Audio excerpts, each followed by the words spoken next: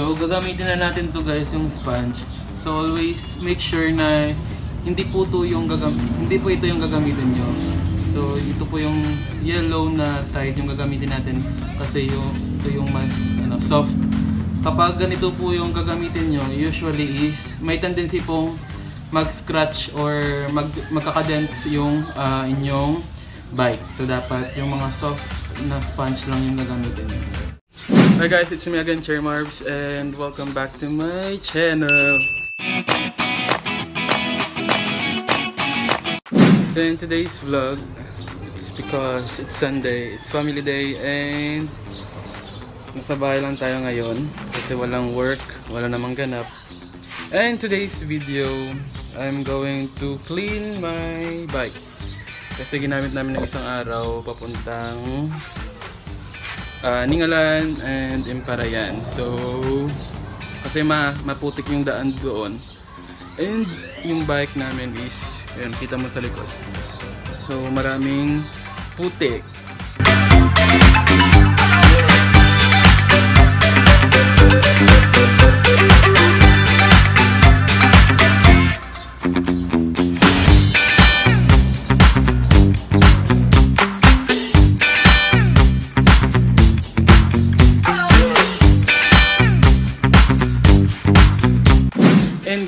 If you haven't watched our vlog, uh, yung nagbay kami is ilalagay ko dito sa itaas or you can able to visit that in the description box below. So I'll put the link there. So panoorin muna nyo guys yung video na to before nyo panoorin yung video doon. ano? so you guys watch this first and then you go ahead and watch the next. Hirap, mahirap ng Tagalog, mahirap din mag-English.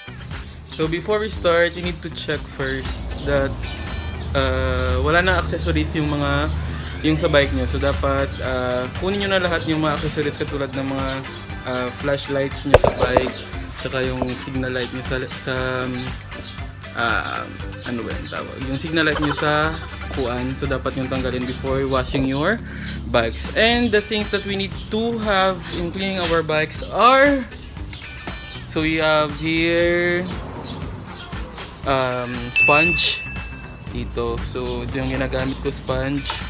So, DIY ito guys. And toothbrush. So, toothbrush is for the cleaning of our chains. Chains. So, sa mga, ano natin, ano ba tawag doon sa Tagalog ng chains? Uh, basta, ayun.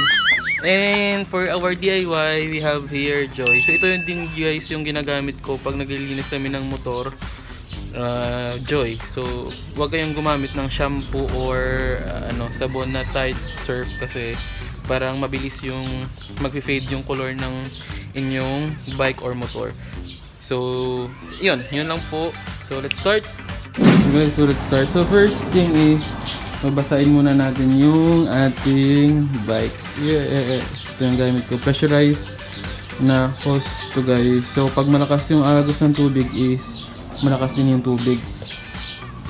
So, I bought this one from Shopee for 300 pesos ata guys. So, yun. Basahin muna natin guys yung ating bike. So, para mawala kahit konti yung mga alikabok or mga putik para easy lang po natin siyang mahuhugasan at makukuha yung mga putik.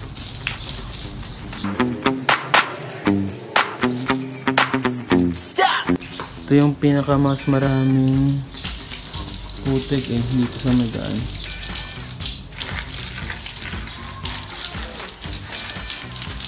And always, if you have bike, ah pala guys, you need to have this stand ito uh, to support your bike. So, pag pag kasi walang bike, uh, usually is parang dinidikit nyo lang sa dingding.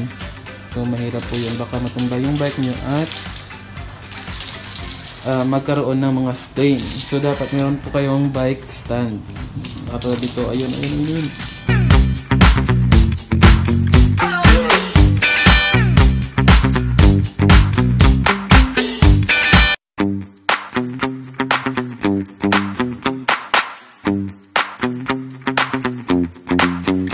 So gagamitin na natin ganito guys yung sponge. So always make sure na hindi po to yung gagam hindi po ito yung gagamitin nyo. So ito po yung yellow na side yung gagamitin natin kasi yung ito yung mas ano soft. Kapag ganito po yung gagamitin nyo, usually is may tendency pong mag-scratch or mag magkakadents yung uh, inyong bike. So dapat yung mga soft na sponge lang yung gagamitin nyo.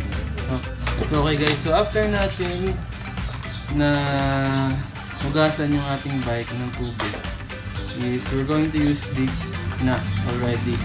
Our joy. Okay all set. So yung first na lilinisin natin guys is yung uh, dito na area ng aking bike so dito maraming mga dumi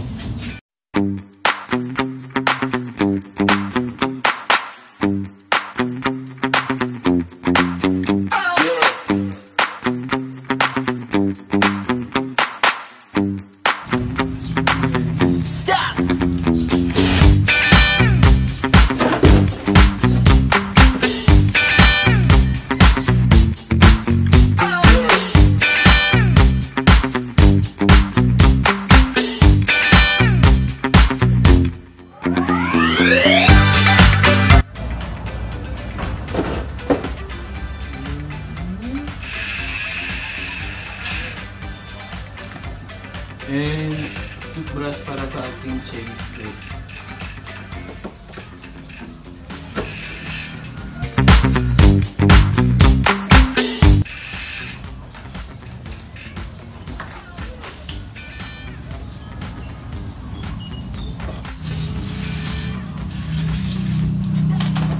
Next is sa kabilang side naman tayo.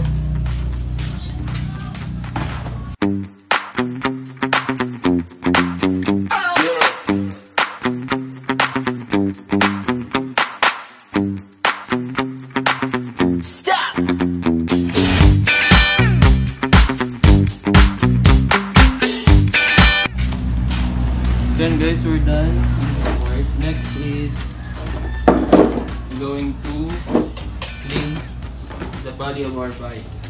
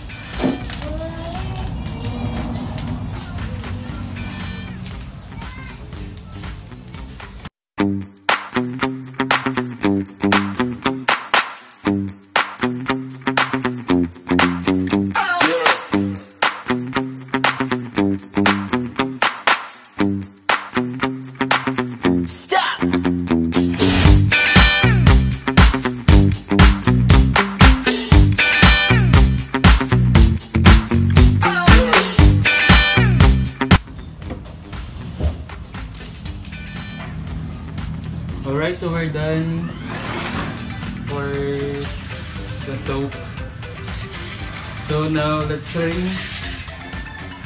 So now guys, let's rinse, rinse, rinse, rinse. Ano ba?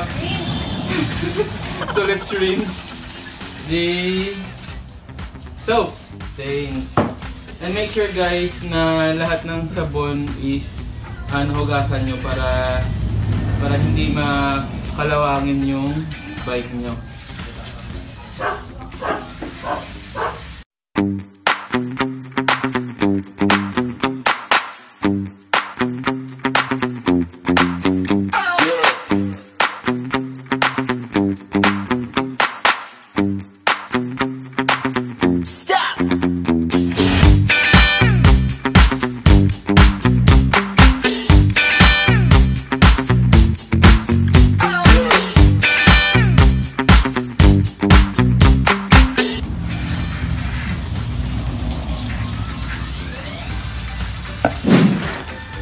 Then guys, we're done. And last step is uh, we need to make our bike dry using the trapo.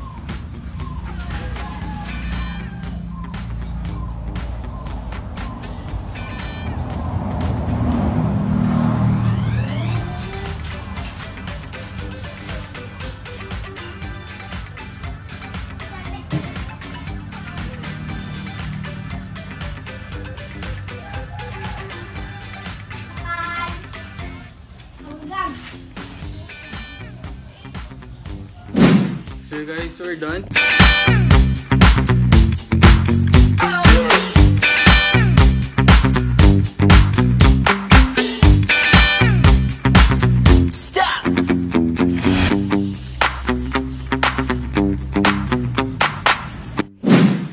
And mainit ngayon dito. Kung pinapawisan ako dito ngayon guys. And hey hi to my sister. She's at the back. Yeah, English. So yan guys, this is for the vlog for today. So yan guys, don't forget to like, share, and subscribe. And subscribe to my channel and always tap the And always tap the bell notification below so you'll always be updated every time mag-upload tayo ng bagong video. And for vlog suggestions and video suggestions, just comment down below. And once again, this is Share Marks and see you another vlog.